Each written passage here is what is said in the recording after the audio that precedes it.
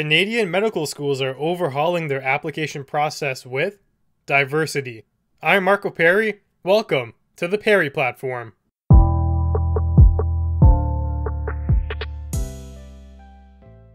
The Globe and Mail put out a piece today highlighting changes to Canada's medical school applications.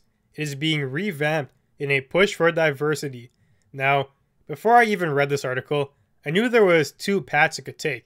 It could either establish equality of opportunity, where people are empowered to face everyone else on an equal playing field, and you would then gain admission based on merit. Or they could focus on equality of outcome, where they establish arbitrary criterias of diversity and allow less qualified people in over those who are more qualified simply based on race, gender, religion, etc. The first method that I mentioned is something we should all strive for. Everyone should have a fair shot and merit should overrule all else. The second is a fool's game where you undermine genuine capabilities, punish certain groups to benefit others, and truly rely on discrimination masquerading as a virtue. Equal opportunity is permanent change, while equal outcome is artificial. One way you could tackle opportunity is to put programs in place that assist every racial and gender group. Free MCAT prep resources, not basing the application process around things like volunteer work because students with jobs would not be able to perform that, or even producing sponsorships and grants for people based on poverty level. All things that can bridge the gap and allow people to perform based on their own ability. I am fully able to sympathize with the argument that rich students have a way easier time in school because they have less things to worry about. It's a fact. But I think the approach should be let's enable the less well off to perform to their true potential. What the article highlights is essentially offering advantages to applicants from certain demographic groups. That is an attempt at equality of outcome, sadly, because you are directly meddling with the outcome.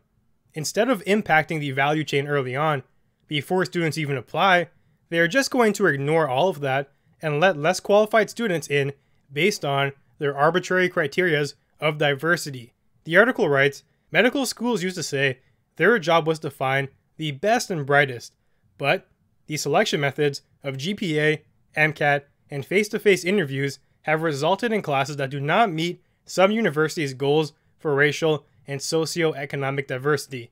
First and foremost, why are racial diversity quotas even a factor when deciding who's going to shape Canada's medical practice in the future? It might not even be so far in the future. These students who are graduating could be thrust into the industry and making tremendous marks as soon as they're in the field. This is a position that solely needs to be based off of merit. Everyone, presumably, would want the best doctor available. This really is not a game. Right now, factors like GPA and the MCAT indicate the levels at which applicants grasp critical concepts. Of course, they are not perfect measures, but they are fair in the sense that people are given clear criteria and that anyone can perform within them. I will agree that the face to face interviews, okay, that aspect can be dropped. I don't see much value in that. Your interview skills aren't exactly correlated to how well you can perform as a doctor. It opens the door to interviewers making arbitrary decisions, and we don't really need that. The MCAT and a high GPA see more than enough for admittance. The doctors will need to get their interview experience anyways because they're going to be applying for things like placements and later employment. Their time will come. So, roughly 10 to 20% of applicants are permitted to enroll into medical school, which may be another issue given Canada's lack of doctors, but that's more a topic for another discussion. The University of Manitoba studied admissions and found a pattern. Wealthy, white students from big cities were more likely to get interviewed and more likely to get in, partly because of built in advantages. Ah, so this is where I knew they were going. This is probably what they mean by white privilege. Let's see them try to explain it. As they say, the undergrads, they don't have to work part time for school. They're able to pay for MCAT prep courses. In interviews, they can cite an impressive range of travel and volunteer experiences. The result is that a public university system seems to ensure opportunity for the already fortunate. They have a bit of logic mixed in with a bit of nonsense there. I agree. The system does benefit those more fortunate. What does being white have to do with not working part time though? Or paying for MCAT prep courses? Or traveling? Or volunteer experience? It's as they mention, it benefits the fortunate. Those are privileges of the fortunate. If you are rich, you have these items available to you. I know some minorities who have all of those things. I also know white people who have none of them. What they are trying to do is paint a picture and try to compare these two things, being rich and being white, as if they are synonymous. What they are also trying to do is use data to make assumptions about people based on their race. What I'm suggesting is you identify your issue and you target it efficiently, not with a political agenda attached. Wealth helps people. That is 100% a fact. You can't argue against that. So, let's focus on wealth in correlation to students then. What this article pushes for is a notion that being white means you inherently have a privilege. Now, I would make the case that all Canadians have a privilege. All people in the United States have a privilege. Most of North America has a privilege. The word has become so cliche that it means very little. My breathing is a privilege to some. This method of intersectionality and breaking people down primarily based on their ethnic and gender groups is a massive disservice to the sovereignty of the individual. You know nothing about the personal tale of someone. It's wholly possible that a white person has never experienced this so called white privilege. You know it's a fact though? Rich people experience rich privilege. My point is, if you have identified a problem, stick to it. Don't try to lump other factors into it that may not in fact be lumpable. I must ask, is it also white privilege to have your admission spot put on the chopping block for someone else based on diversity? This problem also affects Asian Americans. In the United States, that demographic outperforms people in terms of admission. Ivy League schools are actively putting in place quotas to limit their enrollment. If the goal of university is to attract the brightest and most talented, these quotas are a massive disservice to the integrity of the institution. Now, back to the article. To diversify the medical school body, they are looking to add a section on the application to get more information from students to gauge if they qualify for a diverse status.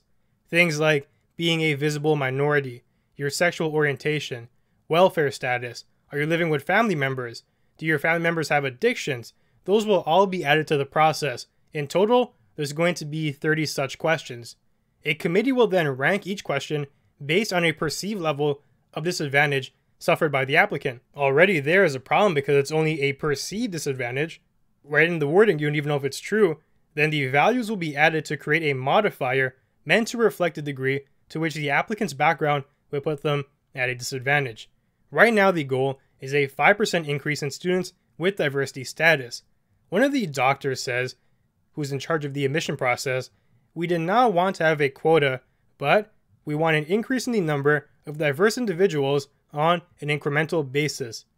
What the doctor fails to understand is the negative effect of replacing more qualified people with less qualified people based on diversity alone is still the same regardless of whether you want to call it a quota or not the consequences will be there. Instead of empowering disadvantaged students to achieve based on their own merit, you want to hand them the short term solution of instant, easier access now. Different universities have different approaches, but it seems like a large chunk are looking to adopt the ideology. The University of Toronto will have a special stream for black applicants. The University of Saskatchewan will reserve 6% of their seats for families earning below $80,000. The University of Calgary is going to ask underrepresented groups to highlight their background and experiences. So some of those are obviously less disastrous than others, but the ideology, it's there, and it's faulty. You sacrifice meritocracy and real grassroots solutions for short term virtue signaling. There are certain studies that cite some people may receive better care when they get a doctor of the same race as them, and that's a pillar that the article tries to stand on. They say physicians should reflect the population they serve. Do they even know what that means? I really have to ask. The majority of Canada is white. Should applications ensure the majority of students be white to reflect the population they serve? It's as they say. Physicians should reflect the population they serve. It's a foolish point to make, and they don't say it honestly, or else it would be counterproductive to their own goals, and I don't agree with it either way. Some people may prefer a doctor of their own race, but that does not trump the logical goal of generally having the highest caliber of doctor available. You do not get to pick your doctor often, especially in an emergency. The ideal way to envision this is to act as if you don't know who you're going to be treated by, because when you really do need one, in an emergency, chances are you won't. In situations like that, the most qualified people would logically be more desired. I'm appalled at the current state of affairs within universities. They actively undermine their own supposed goals and are willing to play a game of intersectionality at the expense of Canada. They also make the false case that diversity based on ethnicity will result in diversity of opinion. It's simply not true.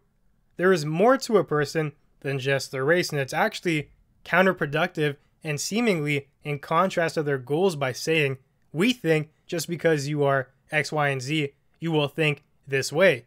What happened to treating people as an individual? If you take a minority who grew up in poverty and a minority who grew up in extreme wealth, do you really think that they're going to have the same worldview as each other? How about if you take a minority and a white person who both grew up in poverty? It seems likely they may have more in line views. It's not just about race, there are so many intricacies that go into creating diversity of thought and trying to boil it down to intersectionality. It's a terrible idea, and we're going to start seeing the backlash of that soon if these policies continue to fester. It's infested now the Canadian medical school applications.